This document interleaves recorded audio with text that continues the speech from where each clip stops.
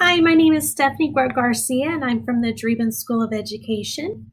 I first used Canvas in the fall of 2019, and it took me a little bit um, of time to get used to it.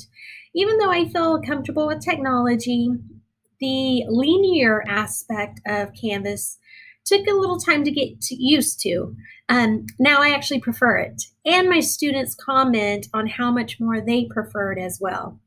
Students also prefer the calendar and they comment a lot that SAC uses Canvas. And so they come to us familiar with that platform. Now, I enjoyed Canvas so much in the fall that I asked to teach all my classes on Canvas in the spring. And the reason why I enjoy it is I do a lot of online modules, and those modules are arranged in the I do, we do, you do um, framework. So the I do modules, so modules they have to take in a certain order and they're locked. So they have to complete each step before moving on. So in the I do, I might produce a video where I model the content. Um, and I might also give a classroom based video that they have to watch and comment on.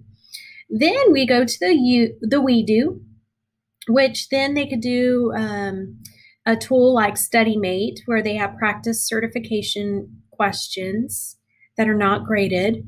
Um, they might do a discussion board uh, where we discuss the content together. And then finally, we move to the You Do, and this is where I use assessment. And so for the speed grader, I might do a quiz that's self graded. I might have them produce something where I give feedback. And what I love about the speed grader is I can do a vid- video for the feedback. So instead of just typing uh, my feedback and the students um, decide on the tone of that, I like to do a video where they see me, they hear me, and they know that I'm providing feedback with a kind heart. And so I've really enjoyed that video feedback.